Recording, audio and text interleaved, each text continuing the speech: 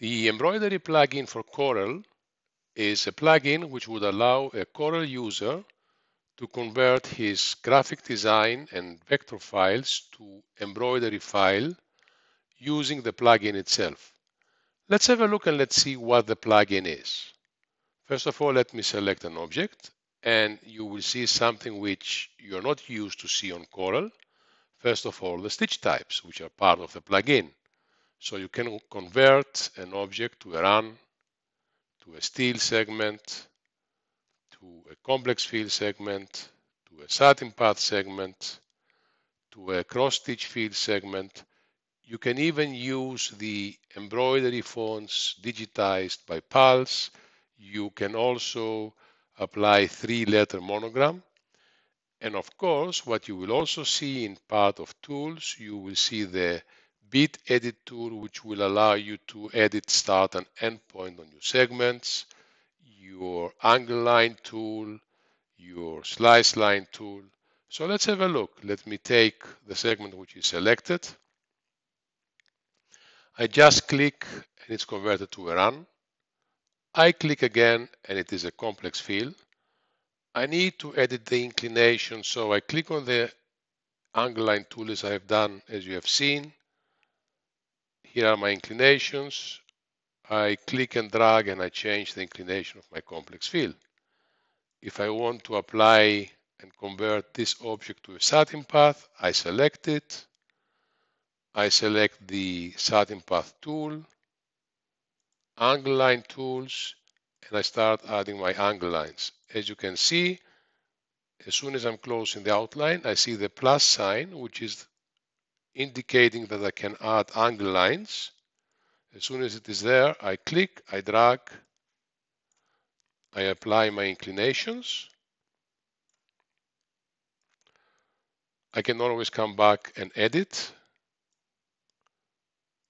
make the changes I want. So let me add one more inclination here. And the slice line tools to add one slice line here, another virtual slice line here. My satin path segment is ready. If I want to go faster, I can always use the automation tools which are included in the plugin.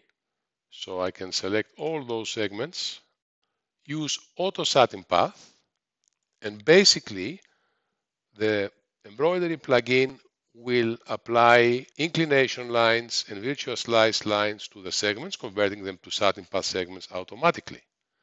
So now, what do I need to do? I need to apply the settings I need for high quality embroidery. So using my embroidery object properties window, I can go and I can change my underlay.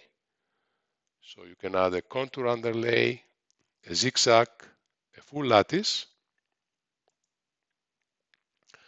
I'm not happy with the distance of the underlay, so I need to change the distance to 0.3 millimeters. That can easily be done. I would definitely need some pull compensation here, so let me click, pull compensation. Let's add an absolute one, 0.3 millimeters. So I have also my pull compensation. If we notice the connection of the embroidery segments, you will see that the connection is not the closest one. Why? Look at the U. Here I have my start and the connection is too far away. So I need to come to the closest point connection. Again, I will use my automation tools in the plugin. Embroidery object, auto start stop. I have my closest point connection. I've forgotten to add trims. So commands and commands, I can add trims. As you can see, trims have been applied to the small scissors here. And around the trim, you always need a lock stitch. And let's say a lock stitch, always the end type, line one, lock stitches are set.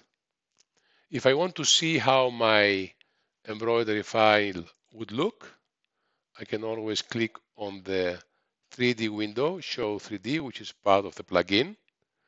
You can see here that shows me my stitches. And now I'm done. I want to save embroidery I square file, export, and I always have the option to export the design I have created either as a pulse embroidery file, which is PXF files, which include the outline information, or to the known machine formats like Tajima TBF, for example, and the most known machines. Let me save it as a PXF file so I can use that later. Save. With those easy steps using embroidery I square, and without the need to leave Corel, I've converted a vector file into high quality embroidery.